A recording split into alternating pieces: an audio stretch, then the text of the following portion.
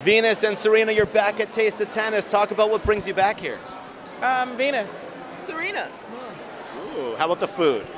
Food, definitely. I, we love food, good food and good eats. Now, this is a fun tournament before the Open. Why do you love coming back, Venus? All the players are here. We love being here. It's for a great cause, and it's important to uh, be supportive. And we've had so much in all of our careers that it's important to give back in every way you can. Now, are there any secret foods that you're looking for? Um, I always like to see the new chefs that they have and the up and coming ones, so that's always really cool.